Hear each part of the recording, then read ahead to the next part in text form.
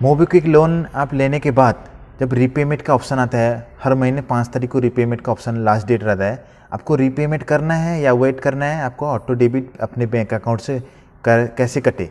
अभी इस लोन के बारे में मैं सारा डिटेल्स बताऊँगा क्योंकि मैंने लोन ले रखा है और इसका मैं कैसे पेमेंट करता हूँ और क्या डिटेल्स है। बहुत सारा कॉमेडी आ रहा था, हम लोग रीपेमेंट जब करते हैं मोबिक्विक से, फिर से दोबारा सा रीपेमेंट का ऑप्शन आ जाता है और फिर से आपको पेमेंट करना आ सकता है। ऐसा बहुत सारा कमेंट भी आ रहा था। अभी करें तो क्या करें? रीपेमेंट करना है या पाँच तारीख को ऑटो डेबिट बैंक अकाउंट से आपको ऑटोमेटिक पैसे कटेगी। सारा डिटेल इस वीडियो में कवर करेंगे। वीडियो चला तो लाइक कीजिए चैनल को सब्सक्राइब कीजिए। चलिए वीडियो शुरू करते हैं। ये मेरा मोबिक्विक है। इसमें जीप बैलेंस जो है, पाँच हज़ार जीप बैलेंस का बात नहीं कर रहा हूँ। Jeep E M I E M I में क्लिक करना है। मुझे साठ हज़ार का लोन मिला था। और उसको मैं दो ई एम आई भी भर चुका हूँ। मैंने पेमेंट भी कर चुका हूँ। मैंने कैसे किया? रीपेमेंट करके मैं ऑटोमेटिक जो डेबिट होता है, पाँच तारीख को मैं वेट नहीं किया। लेकिन रीपेमेंट आपको जब भी करना है, दो तारीख से लेके आपको करना है। मतलब हर महीने दो, तीन, चार, इसके अंदर आपको रीपेमेंट करना है, ठीक है? जब रीपेमेंट आप करोगे, जो भी आपका ऑप्शन होगा डेट ऑटोमेटिक रीपेमेंट आएगा, लेकिन पाँच तारीख के बाद यहाँ जो नीचे लिखा होगा, आपको रीपेमेंट करना है पाँच तारीख को नेक्स्ट मंथ जनरेट हो जाएगा।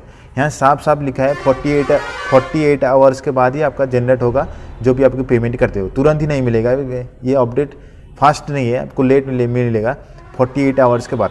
और इसका मैं रीपेमेंट भी कर चुका हूँ। दो तीन बार कर चुका हूँ, इसमें कोई भी ऑप्शन नहीं है।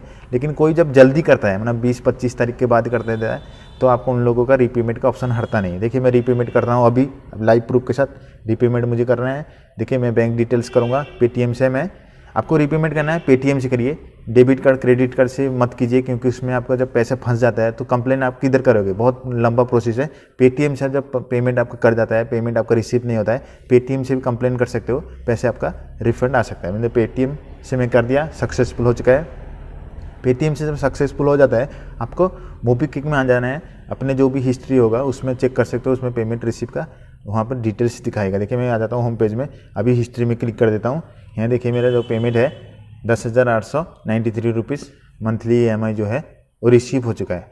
और ये रिसीव हो जाने के बाद आपको प्रॉपरली जो भी आपका मेल में मैसेज भी मिलता है, क्योंकि आपका पेमेंट जो है, मिल चुका है। और जब मिलने के बाद आपको वेट करना है, फोर्टी एट आवर्स के बाद आपका जो भी जनरेट होगा, वहाँ डिटेल्स दिखाएगा, पेमेंट रिसीव हो जाने के बाद। नेक्स्ट डे मतलब इस महीने दिसंबर को मैंने पेमेंट किया, जनवरी पाँच का ऑटोमेटिक नीचे लिखा आएगा, रीपेमेंट करना है। देखिए यहाँ लिखा है, पाँच दिसंबर दे फोर्टी एट आवर्स के बाद मतलब पाँच तारीख क्रॉस हो जाने के बाद, यहाँ ऑटोमेटिक जनरेट हो जाएगा पाँच जनवरी। आपको रीपेमेंट करना है। जब रीपेमेंट आप नहीं करना है तो वेट करना है। आपको पाँच तारीख को जब ऑटो डेबिट होता है बैंक में पैसे रखना है ऑटो डेबिट होता है तो आपको थोड़ा वेट करना है। जब आपका पहले भी ऑटो डेबिट हो चुका है, आपको वेट करना है ऑटोमेटिक ऑटोमेटिक हो जाएगा। देखिए जी में इस तरह से मैसेज आएगा प्रॉपरली आपका जो भी पेमेंट कटा है लोन की वजह से सारा डिटेल इसमें दिखाएगा। आपका जो भी प्रॉब्लम है, मुझे कमेंट कर सकते हैं, मैं आपका रिप्लाई में हेल्प कर सकता हूँ।